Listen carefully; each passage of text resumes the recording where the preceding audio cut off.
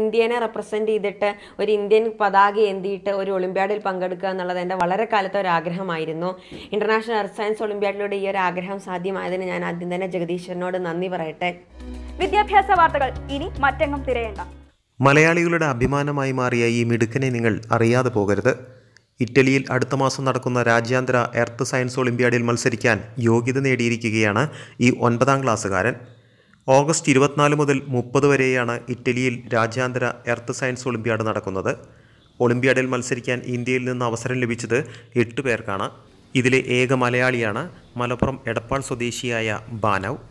കേരളത്തിൽ നിന്ന് ആദ്യമായി ഒരു വിദ്യാർത്ഥിക്ക് ലഭിക്കുന്ന അവസരമാണിത്.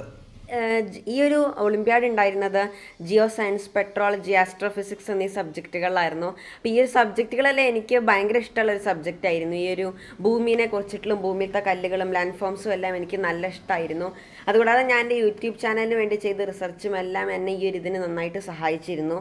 പിന്നെ ഞാൻ എനിക്ക് കുറേ ബുക്സും ഇതിനെ കുറിച്ചിട്ടുണ്ടായിരുന്നു. ഈ ഒരു വിഷയങ്ങളെ കുറിച്ചിട്ട് എന്റെ കയ്യിൽ കുറേ ബുക്സും ഉണ്ടായിരുന്നു.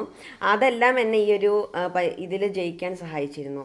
ഒളിമ്പ്യാഡിനായി ദേശീയതലത്തിൽ നടത്തിയ ഇന്ത്യൻ നാഷണൽ എർത്ത് സയൻസ് ഒളിമ്പ്യാഡിൽ ഒന്നാം റാങ്ക് നേടിയാണ് ബാനവ് ഇറ്റലിയിലേക്ക് പോകുന്നത്. എടപ്പാൾ നടക്കാവിലെ ഭാരതീയ വിദ്യാഭവൻ ഒൻപതാം ക്ലാസ് വിദ്യാർത്ഥിയാണ്. എടപ്പാൾ നടുവട്ടത്തെ ഡോക്ടർ ദമ്പതികളായ സുനിൽ ദീപ ശർമ്മ എന്നിവരുടെ മകനാണ്. എല്ലാ രാജ്യങ്ങളും പങ്കെടുക്കുന്ന ആഗോള എർത്ത് സയൻസ് ഒളിമ്പ്യാഡിന് ഇക്കൊല്ലം ഇറ്റലിയാണ് ആതിഥേയത്വം വഹിക്കുന്നത്.